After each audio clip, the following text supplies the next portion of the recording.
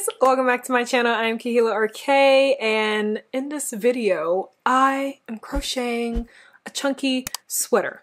Okay, so I came up with this sweater and I'm writing a pattern for it, okay? I came up with this sweater because I was just looking through the patterns that I wrote and I was like, okay, wait, I'm kind of short right here. Let me, let me sit up. All right, there we go. And I was like, hmm, I don't have a chunky crochet pattern. And I was like, I need to fix that. So here I am working on a chunky crochet sweater.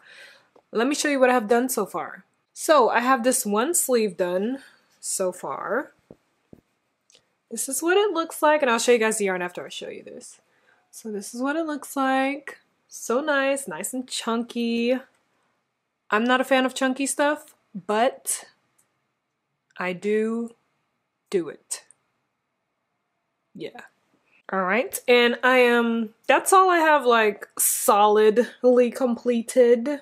And I'm working on the second sleeve right now, so I just have one sleeve done, starting on another sleeve. And this is the yarn that I'm using. I am using three strands of Drops Air, you guys. Drops Air Mix, which is why it has like this, what is this? So it has this like white, whiteness to it. so three strands of this. I don't even know if I have enough yarn. I just bought a bunch of yarn and was like, I'm going to crochet chunky and boom. Yeah, that's all I have for you guys for this intro. I'm using an eight millimeter hook and I'm using this one specifically from Furls. It's so cute. I just, oh, I love it. What's this, Andromeda or something? I don't know, but it's like my favorite style that they have.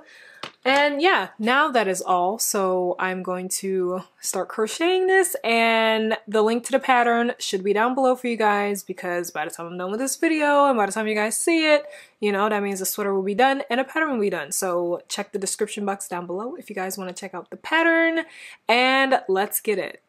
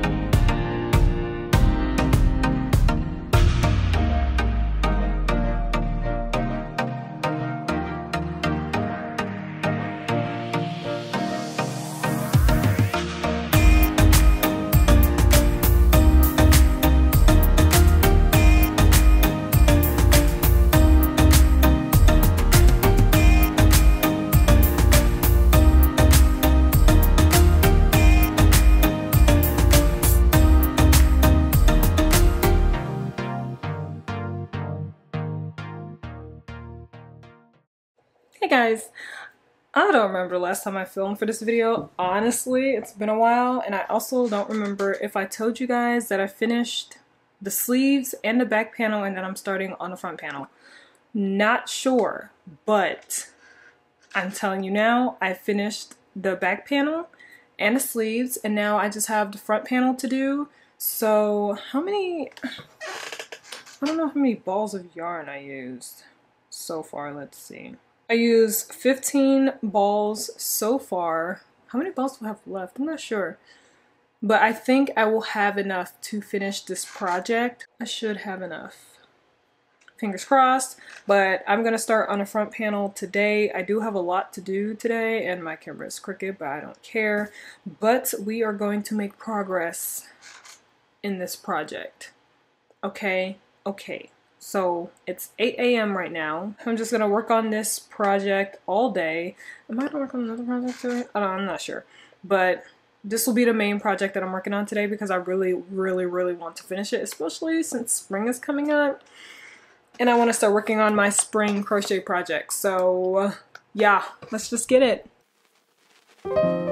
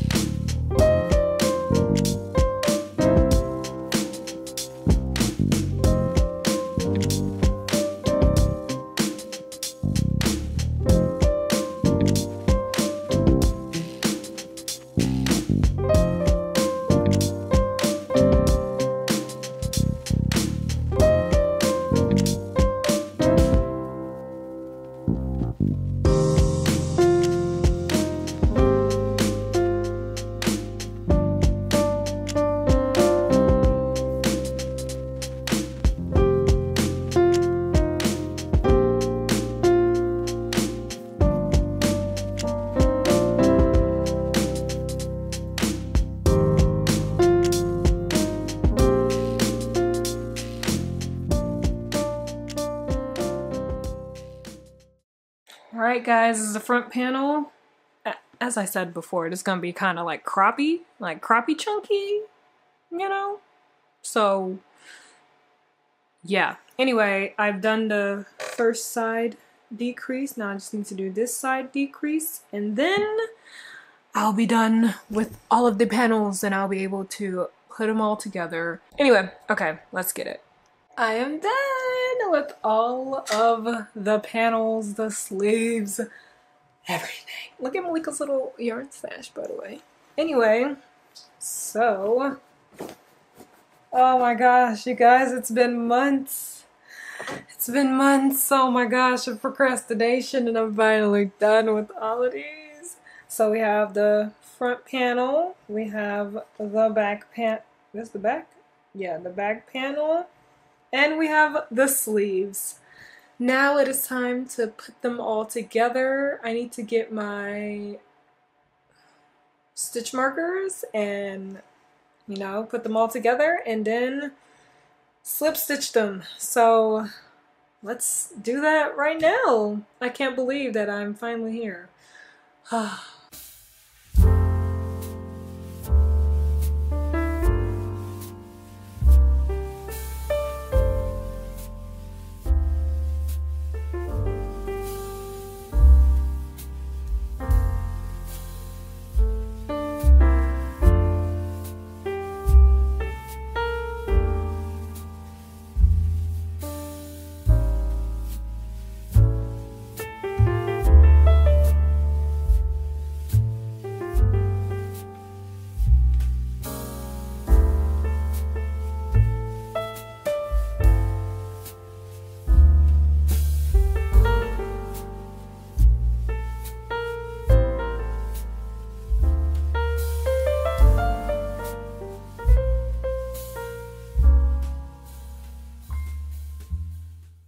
Alright guys, so I have it all like pinned, so I just have to like sew it all together and stuff, but I just want to read for tonight, so I'm going to do that tomorrow and finish it tomorrow.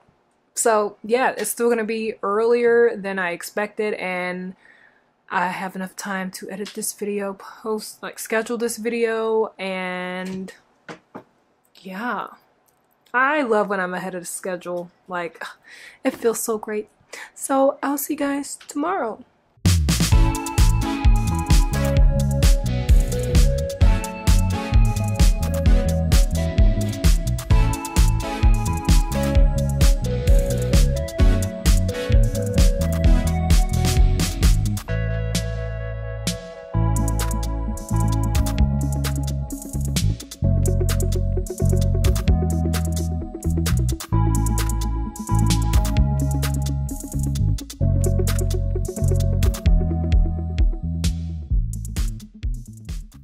I'm done, guys. I put it all together.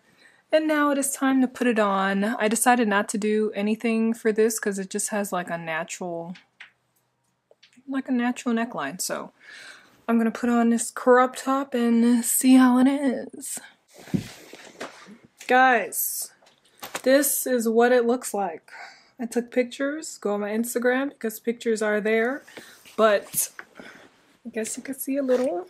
Here we go, nice and croppy. The sleeves, oh my gosh, reach my wrists, which is what I wanted it to do.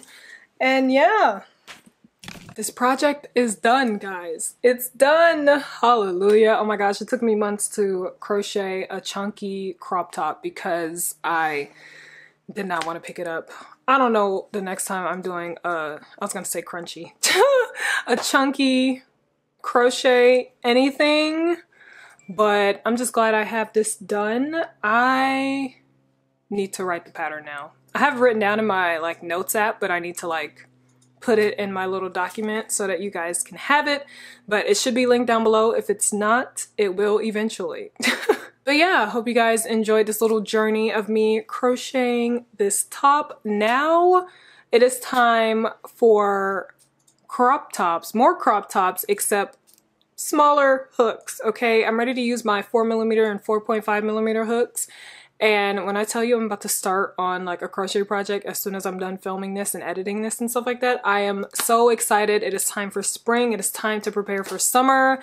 And it's going to be exciting because I'm going to be recreating my patterns that I made last year. It's to be so exciting. Anyway, that's to be it for this video. Thank you guys so much for watching. Let me know what you crocheted or knitted or sewed or whatever during this video. Don't forget to give it a big thumbs up and click that subscribe button. Hit that notification bell because it'll notify you whenever I post another video.